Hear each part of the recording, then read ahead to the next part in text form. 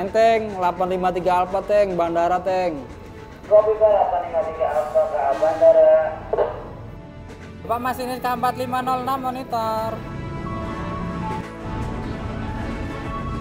935-nya diperdengarkan saat melewati pintu lintasan baik yang terjaga maupun yang tidak terjaga saat masuk dan berangkat stasiun serta saat melewati lengkungan. Hati-hati Bravo, hati-hati, selalu konsentrasi, hati-hati Bravo 4506. Di kopi Bapak PKP. Terima kasih.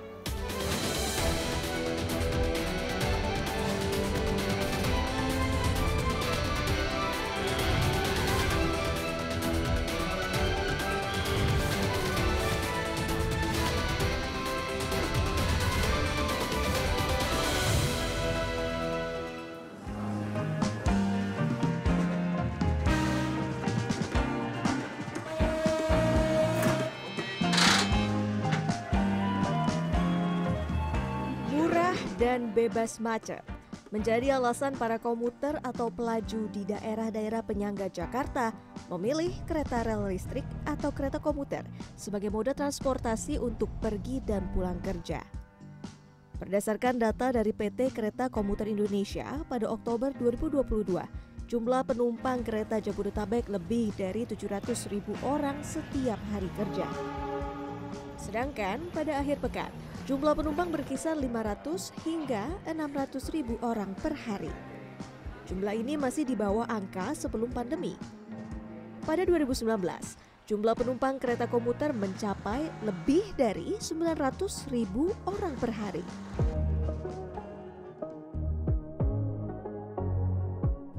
Resti, warga Depok, Jawa Barat, menumpang KRL untuk berangkat dan pulang dari tempat kerjanya di Matraman, Jakarta Timur. Ia rutin naik KRL sejak 1996. Bersama sejumlah komuter lainnya, Resti mengelola KRL Mania, komunitas penumpang KRL Jabodetabek yang berdiri pada 2004. Lebih dari seperempat abad menjadi penumpang KRL, Resti punya banyak cerita seputar kereta komuter dan penumpangnya. Kereta tertahan karena tawuran, pernah. Kereta tertahan karena tabrakan, pernah. Biasanya tawuran di Manggarai. Pelecehan pernah, kecopetan juga pernah. Waktu naik kereta ekonomi, pedagang kan seliweran termasuk juga topeng monyet masuk ke dalam kereta gitu kan. Kalau sekarang stasiun steril. Padatnya angkutan umum termasuk KRL membuka peluang terjadinya tindak kriminal. PT KCI mencatat sepanjang 2022 saja terdapat 33 kasus pelanggaran hukum di dalam kereta dan di area stasiun. Perinciannya, 20 kasus pencopetan atau pencurian dan 13 kasus tindak asusila. Salah satu upaya yang dilakukan oleh PT KCI untuk mengantisipasi tindakan kriminal tersebut adalah memasang kamera CCTV analitik di stasiun-stasiun KRL. Wajah para pelaku kriminal di kereta direkam di database. Orang-orang tersebut dapat dicegah masuk dan menggunakan fasilitas KRL dengan pengawasan yang dilakukan di komuter control room. Jadi ketika data yang sudah kita masukkan ke dalam database ya, Mhm. dia nanti akan otomatis di sistem kami ada notifikasi. Oh, ada notifikasinya notifikasi ya? benar ketika nanti eh, tersangka yang memiliki kemiripan dengan database yang ada Mhm. seperti itu. Eh, langkah awal adalah melakukan verifikasi digital terlebih dahulu. Verifikasi digital itu untuk memastikan bahwa benar-benar itu adalah eh, ters apa eh, tersangka yang sama dengan yang ada di database identik. Jika memang setelah dilakukan verifikasi digital eh, itu adalah orang yang sama, Sama. kemudian kami dari control room akan berkomunikasi ke petugas keamanan di stasiun untuk dari petugas keamanan mengamankan penumpang tersebut. Ya untuk dilakukan verifikasi fisik Para penumpang yang menjadi korban tindak kriminal di dalam KRL maupun di lingkungan stasiun dapat menghubungi hotline 021 121 yang aktif selama 24 jam. Pada 2022, jumlah perjalanan kereta rel listrik di Jabodetabek telah mencapai lebih dari 1000 perjalanan per hari. Tak hanya melayani Jakarta Bogor, KRL Jabodetabek saat ini juga memiliki jalur ke daerah-daerah penyangga ibu kota lainnya, yaitu Bekasi, Cikarang, Rangkas Bitung, dan Tangerang. Panjang jalur kereta rel listrik saat ini dari 400 km dengan jumlah pemberhentian lebih dari 80 stasiun. KRL beroperasi setiap hari antara pukul 4 subuh hingga 24 malam. Saat ini, pusat pengendalian operasi perjalanan semua kendaraan berbasis rel di wilayah daerah operasi 1 PT KAI yang meliputi wilayah Jabodetabek, Merak, Sukabumi, hingga Cikampek dilakukan di Gedung Operation Control Center atau OCC Manggarai, Jakarta Pusat. Untuk memonitor pengendalian perjalanan kereta terdapat berbagai instrumen, Salah satunya adalah wall display berukuran 25 x 3 meter yang menampilkan nomor kereta, posisi pergerakan kereta, dan jalurnya. Di OCC Manggarai, petugas pengendali perjalanan kereta api atau PPKP terpusat akan selalu berkomunikasi dengan masinis maupun petugas pengatur kereta api atau PPKA di wilayah operasi masing-masing 24 jam setiap hari. Mulai dari informasi nomor dan posisi kereta, persiapan keberangkatan kereta di stasiun, jalur mana yang aman untuk dilalui, hingga mengingatkan pesan-pesan keselamatan diinformasikan dari OCC. Ya masih ini KA4116 masih pertahanan dulu di sinyal masuk Manggarai. Manggarainya di jalur 12 masih ada KA4114. PPKP akan memberikan prioritas perjalanan bagi kereta api penumpang jarak jauh dibanding rangkaian kereta komuter. Sedikitnya, tiga menit sebelum kereta api jarak jauh berangkat ataupun melintas, kereta komuter akan diarahkan untuk berhenti dan menunggu di jalur lintasan lainnya yang steril di stasiun. Kereta komuter baru diizinkan berjalan kembali setelah kereta api jarak jauh melintas. kecepatan KA komuter dan KA Jarau ini beda ini. Komuter itu hanya 70 km per jam, sedangkan KA Jarau bisa kalau di lintas layang itu bisa sampai 90 km per jam. Jadi nanti dia akan ketahan-tahan nanti.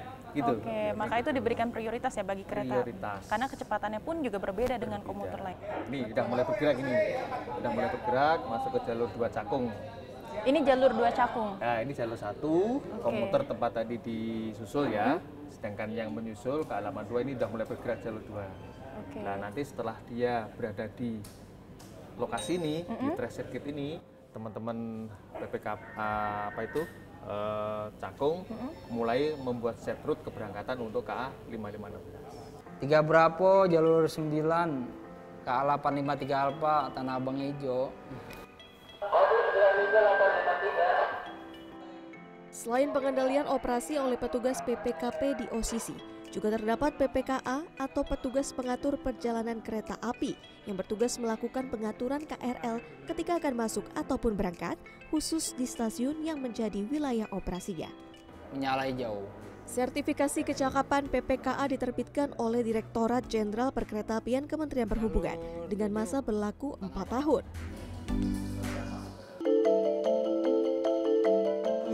Membahayakan hidup orang itu juga kan melanggar hukum. Sehingga setiap kali terjadi kejadian seperti itu kami uh, juga membuat laporan kepada kepolisian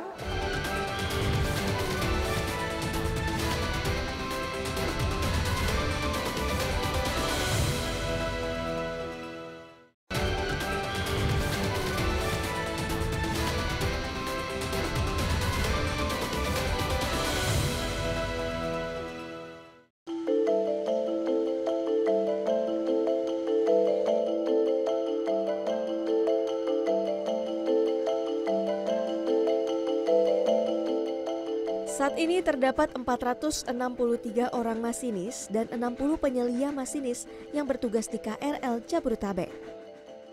Masinis wajib menaati sejumlah aturan ketika berada di dalam kabin untuk mengendalikan kereta. Di antaranya, dilarang membawa ponsel dan tidak boleh merokok. Selain itu, masinis harus menaati batas kecepatan KRL yang diizinkan, yaitu 63 sampai 70 km per jam untuk relasi Jakarta Bogor dan 90 km per jam untuk rute ke Cikarang, Bekasi. Andik Kristianto bertugas sebagai masinis KRL Jabodetabek. Setiap kali bertugas, ia harus datang paling lambat 45 menit sebelum jadwal keberangkatan pertama. Ia harus melapor ke penyelia kedinasan, dilanjutkan dengan melihat kode dinas dan presensi. Ia lalu melakukan tes kesehatan di pusat kesehatan stasiun. Selain pengecekan suhu tubuh, saturasi, dan denyut nadi, Andik juga diwawancarai seputar keluhan penyakit hingga masalah psikologis, seperti masalah keluarga. Setelah mendapatkan surat keterangan sehat, Andik wajib lapor kembali ke penyelia kedinasan. Di sini, Andik maupun masinis lainnya yang akan bertugas akan mengikuti asesmen, di antaranya melalui tunjuk sebut. Akses netral 9C3, awas sinyal utama berhenti. Andik harus menunjuk dan menyebut 10 semboyan atau simbol indikator yang sehari-hari berada di lintasan ataupun kabin kereta, seperti pengereman dan voltmeter. Uh, mereka membawa ribuan ya penumpang kami uh, ketika mereka uh, sedang berdinas itu makanya harus sehat. Yang kedua, mereka harus lulus asesmen. Asesmen dalam arti apa sih yang harus dia lakukan selama perjalanan? Tunjuk sebut, uh, pengenalan sinyal-sinyal dan yang lain supaya kami tahu bahwa mereka memang siap ya uh, untuk uh, melakukan dinas perjalanan KRL pada saat itu. Memasuki kabin masinis sejumlah prosedur kembali Andik lakukan sebelum berangkat, yaitu melakukan pengecekan langsung terhadap instrumen perjalanan seperti handle rem, tuas powering, hingga radio. Setelah semua dipastikan tidak bermasalah, Andik pun memasukkan master key untuk menyalakan kereta. Suka duka mewarnai perjalanan Andik mengoperasikan KRL Jabodetabek selama tujuh tahun ini. Setahun yang lalu, kereta yang ia operasikan menabrak orang dalam perjalanan. 5 berjalan, 40 telah diberikan, pintu tertutup. Pada waktu kita berangkat dari stasiun Bogor, itu orang lalu lalang di perlintasan, di perlintasan rel. Jadi sudah jaraknya sudah dekat, kita tidak bisa melakukan pengereman secara mendadak karena kembali lagi kita juga harus memikirkan keselamatan penumpang kita. Uh, karena kalau kita melakukan pengereman mendadak itu terutama uh, kita bisa roda kereta itu bisa anjlok itu pun kalau anjlok dalam keadaan uh, kereta berjalan dengan kecepatan tinggi itu bisa terjadi guling kereta guling ataupun kecelakaan yang lebih parah istilahnya. Menurut manajemen PT KCI, kecelakaan yang paling sering melibatkan KRL Jabodetabek adalah tabrakan akibat kendaraan lain masuk ke jalur kereta di perlintasan-perlintasan kereta tak resmi. Berdasarkan Undang-Undang Nomor 23 Tahun 2007 tentang Perkeretaapian, kereta api memperoleh prioritas dalam perjalanan. Dalam pasal 124 disebutkan, pada perpotongan sebidang antara jalur kereta dan jalan raya, pemakai jalan wajib mendahulukan kereta api. Jadi uh, kalau dibilang kecelakaan justru kami yang merasa dirugikan tidak hanya dari sisi finansial tetapi itu membahayakan ribuan penumpang KRL ketika kita melanggar uh, untuk aturan menyeberang uh, di tempat-tempat yang tidak resmi. Setiap kali terjadi kejadian seperti itu kami uh, juga membuat laporan kepada kepolisian.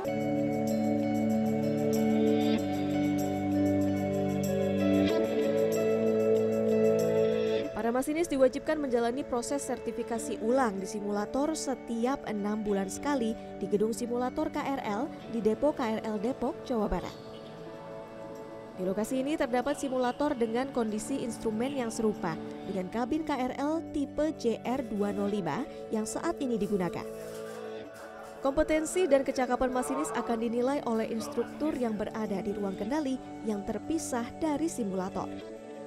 Di dalam ruang simulator, para masinis yang akan menjalankan simulasi harus melakukan prosedur yang sama seperti ketika akan mengoperasikan KRL operasional. Setelah melakukan pengecekan instrumen kabin, masinis akan melakukan pemberitahuan kepada instruktur untuk memulai perjalanan. Instruktur simulator di ruang pengendali dapat mensimulasikan perjalanan kereta di dalam berbagai kondisi waktu dan cuaca. Setelah memberikan simulasi perjalanan dalam kondisi siang dan normal, instruktur akan melakukan pengujian terhadap masinis pada perjalanan malam dan hujan. Dari ruang pengendali, instruktur juga dapat mengatur simulasi berbagai macam rintangan yang dihadapi masinis di jalur rel kereta, seperti mobil berbagai ukuran, manusia, dan hewan ternak. Ketika terjadi tabrakan, simulator ini dapat mensimulasikan getaran maupun goncangan yang dialami oleh kereta secara nyata. Untuk dapat kembali bertugas menjalankan KRL, masinis harus memperoleh nilai sempurna 100 dalam perjalanan melalui simulator. CNN Indonesia memperoleh izin untuk mensimulasikan perjalanan KRL di simulator. tangannya harus siap di Harus posisi, siap di posisi handle, handle. ah. tangan kirinya di powering Oke, pegang oke. di sini ya? ya Powering. terus Oke. eh, suling dulu atau klakson di bagian Oh, ini klakson. ah, tinggal diinjak panjang Biasanya berapa kali mas? Sekali? satu kali Satu panjang kali saja gitu. oke tinggal di powering 1 sampai 5 Satu sampai lima ya. Ini dilepas gak apa-apa? nggak apa-apa nanti Oke. sudah kecepatannya sesuai Mbak. kita juga masinis harus melihat eh, persinyalan mbak di sini ada sinyal drop ya jadi masinis kalau sudah melihat eh, contoh semboyan 5 atau warna hijau kita harus tunjuk sebut mbak 5 berjalan nah itu kalau lampunya hijau atau semboyan 5 itu berarti depannya aman Kira-kira kita berapa lama lagi sampai stasiun nih mas? dikit lagi mbak nah ini udah mau masuk ke stasiun Oke. pasar minggu Tandanya baru saya harus ngerem pelan-pelan? Ya, sudah melakukan pengereman, ditarik. Terus?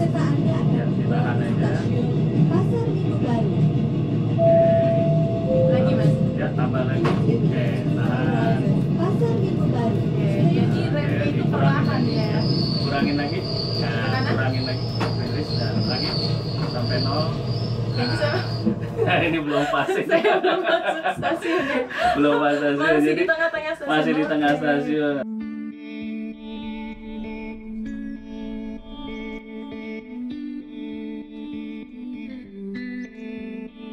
Untuk kepentingan keselamatan, setiap KRL yang beroperasi dilengkapi dengan instrumen pedal deadman yang harus diinjak dan dilepas di bagian kaki masinis. Bila pedal tersebut diinjak selama lebih dari 60 detik atau dilepas lebih dari 4 detik, alarm di kabin akan menyala. Bila alarm tidak direspons, hal tersebut mengindikasikan masinis kehilangan kesadaran dan KRL secara otomatis akan mengurangi kecepatan hingga berhenti.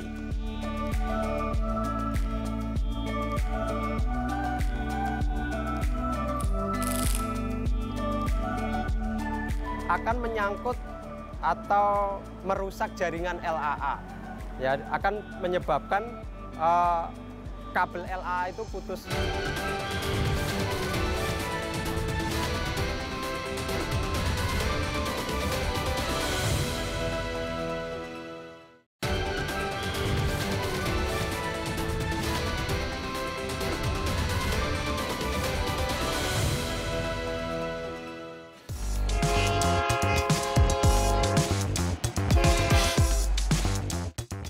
Berjalan dengan cara mengkonversi energi listrik menjadi gerak. Jaringan kabel listrik yang dinamakan listrik aliran atas atau LAA membentang di atas jalur rel untuk memberikan daya listrik ke KRL Jabodetabek. Gardu induk PLN menyuplai listrik dengan tegangan 20.000 volt AC yang kemudian diturunkan melalui trafo step down menjadi 1.200 volt AC. Output arus AC tersebut lalu dikonversi melalui alat rektifier atau penyearah gelombang menjadi tegangan 1500 volt DC dengan kisaran arus sebesar 4000 ampere. Untuk kemudian disalurkan melalui jaringan listrik aliran atas ke KRL. Saat ini terdapat 56 gardu induk PLN yang menyuplai daya listrik ke 56 gardu traksi yang berisi beragam peralatan dengan fungsi untuk mengkonversi tegangan AC ke DC serta menyalurkan arus listrik ke KRL. Untuk pengamanan jaringan listrik di gardu traksi terdapat piranti HSCB atau High Speed Circuit Breaker yang berfungsi memutus secara otomatis aliran arus listrik bila ada gangguan kelistrikan di LAA maupun di kereta. Jadi sistem gardu traksi dari 56 gardu traksi tersebut itu sistem kerjanya paralel. Jadi kalau PLN di salah satu gardu mati kan kita suplai utama dari PLN Pak. Dia masih dapat dari gardu sebelahnya. Kalau HSCB itu otomatis Pak. Jadi dia di HSCP itu bisa disetting. Misal di overcurrent kita setting 4000 ampere. Apabila ada arus melewati 4000 ampere, dia otomatis ngetrip sendiri, putus sendiri. Terdapat empat jenis kabel yang membentang di atas jaringan KRL. Dengan urutan dari paling bawah adalah kabel kontak atau kabel troli yang berfungsi untuk mengalirkan arus listrik ke KRL melalui alat pantograf. Lalu ada kabel messenger yang berfungsi menggantung kabel kontak agar tetap lurus, tidak kendor ataupun melengkung. Selanjutnya kawat feeder dengan fungsi utama menyalurkan arus listrik. Dan di bagian paling atas terdapat kabel OHGW yang berfungsi untuk memproteksi jaringan dari sambaran petir. Tadi yang di atas untuk di jaringan ada OHGW, overhead ground wire. Jadi untuk menyarukan ada ada petir di petak jalan, eh, itu kawat yang paling atas itu yang tersambar duluan. Dari situ nanti di ada kawat pentanan, dibuang ke pembumian.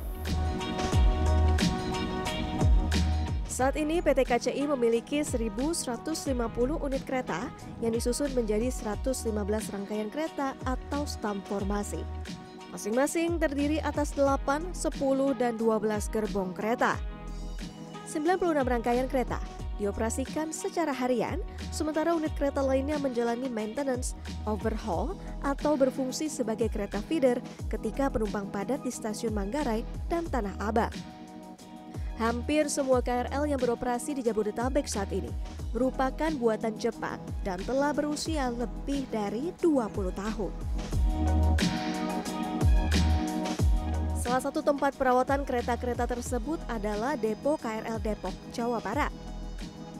Depo yang mulai beroperasi pada 2008 ini memiliki luas sekitar 26 hektar, dilengkapi 28 railway track, serta dapat menampung 336 unit kereta. Sekitar 300 orang teknisi dengan berbagai macam keahlian melakukan perawatan KRL secara berkala. Perawatan kereta dilakukan secara harian bulanan, 3, 6, dan 12 bulan. Overhaul atau perawatan besar dilakukan 4 tahun sekali. Dalam kegiatan perawatan bulanan, dilakukan penggantian pelumas dan perbaikan komponen-komponen yang rusak. Di antaranya adalah perawatan pantograf dan sistem bantu seperti pendingin udara. Jumlah pantograf untuk kereta stam formasi 8 sampai 10 gerbong, 2 sampai 3 unit. Sedangkan kereta stam formasi 12 memiliki 4 pantograf. Bagian utama yang harus diperiksa adalah kontak strip atau komponen utama pantograf yang bergesekan langsung dengan kabel LAA. Dalam satu bulan, ketebalan kontak strip rata-rata akan terkikis 3 mm. Pelumasan dan pembersihan juga dilakukan pada engsel-engsel sudut pergerakan pantograf. Ya, terkikis sampai harus diganti kembali itu di 10 mili. Kalau boleh tahu kalau misalnya tidak diganti nih Pak dalam 10 mili itu ada indikasi Ah. eh, seperti kerusakan atau Iya. apakah yang mengganggu kereta nantinya? Resikonya akan sangat fatal sekali apabila sudah di bawah ketentuan yang ditentukan itu akan menyangkut atau merusak jaringan LAA. ya, akan menyebabkan kabel LAA itu putus. Pada perawatan besar atau overhaul, dilakukan pembongkaran terhadap kereta dan penggantian komponen-komponen di dalamnya. Gerbong kereta akan diangkat, dipisahkan dari bugi, suatu kerangka atau sasis yang berisi sistem roda kereta di bagian bawah gerbong. Overhaul satu rangkaian KRL rata-rata membutuhkan waktu hingga 22 hari kerja. Salah satu sistem yang dibongkar dan diganti komponennya adalah sistem rem KRL e-relay valve. Pengereman KRL menggunakan sistem elektropneumatik, yaitu memanfaatkan tekanan udara yang dibantu dengan sistem kelistrikan untuk melakukan gerak pengereman. Pengereman KRL dilakukan secara bertahap, dari rilis, pengereman tahap 1 sampai 7 hingga emergency. Setelah tuas rem ditarik dari tahap rilis hingga emergency, KRL membutuhkan jarak 120 hingga 150 meter untuk dapat berhenti. Pengujian kebocoran udara, fungsi maupun kapasitas udara dilakukan setelah pemasangan komponen baru rem. Mas Abro bisa dijelaskan nih ada berapa tahapan dalam pengereman kereta, Mas? Kalau di pengereman kereta ada 9 tahapan dari posisi rilis 1 break 8 sampai dengan break emergency. Oke, untuk eh, tekanannya start dari berapa, Mas? Tekanan Kalau rilis di pengereman. 0 kPa, break 150 dan di tekanan penuhnya di emergency break di 410 kPa. Oke, jadi 410. Kalau misalnya eh, kurang dari standar yang ditemu- ditentukan, Mas, itu apa yang dilakukan? Apabila tidak sesuai standar, itu akan dilakukan revisi ulang di meja revisi di sebelumnya. Di setiap unit gerbong kereta KRL terdapat 4 wheel set atau 8 keping roda. Roda besi KRL memiliki batas ukuran maksimum diameter 860 mm. Proses operasional KRL di atas rel dapat mengakibatkan kerusakan di permukaan roda besi, sehingga diperlukan proses pembubutan secara berkala untuk menghaluskan kembali permukaan roda. Pembubutan pada akhirnya dapat membuat ukuran roda besi berkurang.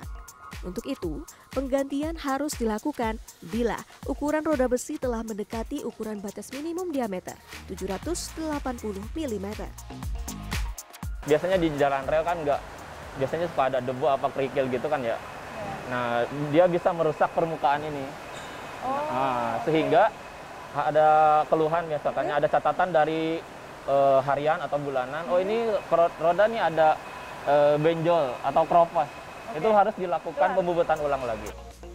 Setelah melalui berbagai macam perawatan rutin dan overhaul, KRL harus mendapatkan sertifikasi dari Direktorat Jenderal Perkeretaapian Kementerian Perhubungan agar dapat dinyatakan layak untuk melakukan perjalanan mengangkut para komuter Jabodetabek sejak subuh hingga malam tiba.